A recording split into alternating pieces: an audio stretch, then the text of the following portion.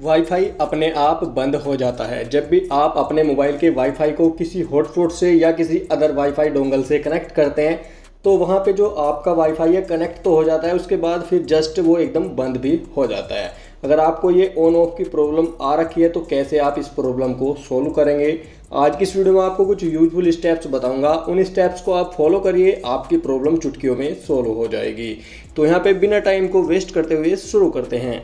तो सबसे पहले आपको अपना मोबाइल रीस्टार्ट कर देना है, क्योंकि रिस्टार्ट करते ही मोस्टली यूँ ही कुछ प्रॉब्लम सोल्व हो जाती हैं। अगर रिस्टार्ट करने से आपकी वाईफाई वाली प्रॉब्लम सोल्व हो जाती है तो बहुत अच्छी बात है। अगर फिर भी आपकी प्रॉब्लम सोल्व नहीं हो रही है तो यहाँ से अब जो है आपको कुछ सेटिंग्स करनी होंगी। तो चलिए, वो सेटिंग्स क्या हैं, उनको आप देख लीजिए। बिल्कुल वीडियो को स्किप मत करना, ध्यान से देख लेना। हंड्रेड एंड वन परसेंट आपकी प्रॉब्लम सोल्व हो जाएगी। आपके पास से कोई सा भी मोबाइल हो, उस मोबाइल की मेन सेटिंग्स में चले जाना है। और यहाँ पे आपको एक ऑप्शन दिखता है अबाउट डिवाइस करके। यहाँ पे आपको check your system software update ठीक है? जो मैं बता रहा हूँ, आपको ये चेक करना है, कहीं आपके फ़ोन में सॉफ्टवेयर अपडेट तो नहीं आ रखा है। अगर आपके फ़ोन में सॉफ्टवेयर अपडेट आ रखा है तो आप उसे तुरंत ही सॉफ्टवेयर अपडेट कर दीजिए, क्योंकि सॉफ्टवेयर अपडेट अगर आपने नहीं रखे हैं तो इस वजह से भी ईरर आपको देखने को मिल सकता है। तो मेरा तो यहाँ पे वर्जन अप टू डेट आप देख सकते हैं, आपके में भी अगर अप टू डेट होगा तो अप टू डेट दिख जाएगा, अगर सॉफ्टवेयर अपडेट आ रखे होंगे तो वो भी दिख जाएगा। उसके बाद नेक्स्ट स्टेप एक और है, उसमें आपको क्या करना है, आपको अपने मोबाइल की मेन सेटिंग्स में चले आना है, और यहाँ पे अब आपको ऐप्स करके एक ऑप्शन दिखेगा, इस पर चले जाना है। ऐप मैनेजमेंट के अंदर जाएँगे, यहाँ पे सारी ऐप्स की लिस्ट आपको दिख जाएगी। टॉप राइट कॉर्नर में थ्री डॉट पे क्लिक करें और यहाँ पे सो सिस्टम दिखेगा, इस पर क्लिक करें। अब यहाँ पे आपको सर्च करना है वाईफाई ठीक है? वाईफाई सर्च करेंगे तो वाईफाई बैकअप रिस्टोर आ जाएगा। इस पर क्लिक करें। अगर आपके मोबाइल में फोर्स स्टॉप वाला ऑप्शन आपको दिखता है हाईलाइट तो इस पर क्लिक करके इसे फोर्स स्टॉप कर देना है। अगर आपके में फोर्स स्टॉप हाईलाइट नहीं दिख रहा है तो आपको स्टोरेज यूजेज पे क्लिक करना और यहाँ पे क्लियर डेटा कर देना है। क्लियर डेटा करने से आपकी वाईफाई में कोई भी नुकसान नहीं होगा। ओनली इन पास्ट आपने जिन जिन वाईफाई से अपने मोबाइल को कनेक्ट किया होगा, उनकी कनेक्टेड हिस्ट्री डिलीट हो जाएगी। ठीक है? यहाँ से बैक करना है और यहाँ पे डाटा यूजेज का एक ऑप्शन दिख रहा है। इसको जो है यहाँ पे चेक करें।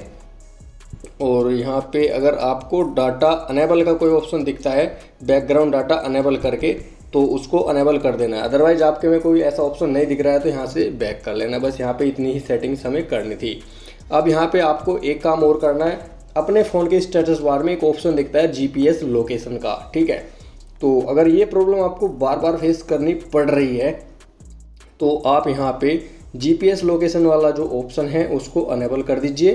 क्योंकि जब भी आप वाईफाई को कनेक्ट कर रहे हैं तो आप लोकेशन लोकेशन को भी अनेबल करके रखिए।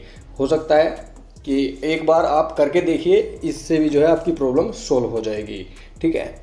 और अब यहाँ पे बचता है लास्ट और जो काफ़ी यूजफुल स्टेप्स है, जो सभी बंदों की प्रॉब्लम को सोल्व कर ही देगा, जिसे मास्टर स्टेप बोलते हैं।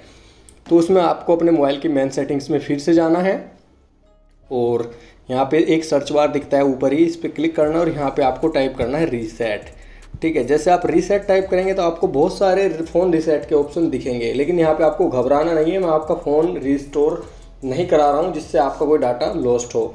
यहाँ पे मैं आपकी कुछ सेटिंग्स रीसेट कराऊँगा, जिनसे आपकी वाईफाई वाली प्रॉब्लम जड़ से ख़त्म हो जाएगी।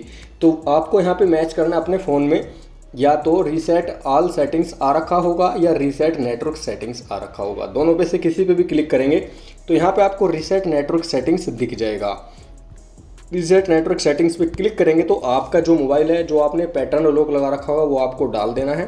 तो यहाँ पे मैं डाल देता हूँ अपना पैटर्न लॉक और आपको ओके कर देना है। उसके बाद रीसेट नेटवर्क सेटिंग्स पे क्लिक कर देना है। आपका मोबाइल का कोई भी डाटा डिलीट नहीं होगा ओनली यहाँ पे आप पढ़ भी सकते हैं reset wifi bluetooth and mobile network settings यहाँ पे वाईफाई से रिलेटेड सभी सेटिंग्स ब्लूटूथ से रिलेटेड और मोबाइल इंटरनेट से रिलेटेड सभी settings as it is new हो जाएँगी, जैसे कंपनी से न्यू मोबाइल आता है। और यही स्टेप काफ़ी हैं आपकी इस प्रॉब्लम को सोल्व करने के लिए। आई होप इस वीडियो में दी गई जानकारी आप अच्छे से समझ गए होंगे।